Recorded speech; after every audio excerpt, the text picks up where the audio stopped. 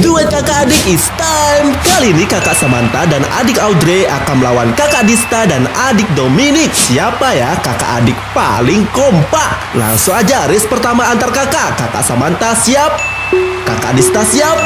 Dan sudah dimulai. Oh, kakak Dista memimpin. Kakak Samantha lambat banget di sana. Sepertinya belum sarapan, guys. Apakah kakak Dista akan menang? Oh, lihat di sana dan oh, epic comeback dari kakak Dista. Ya, kakak Samantha kalah. Artinya skor 1-0 untuk tim Dista.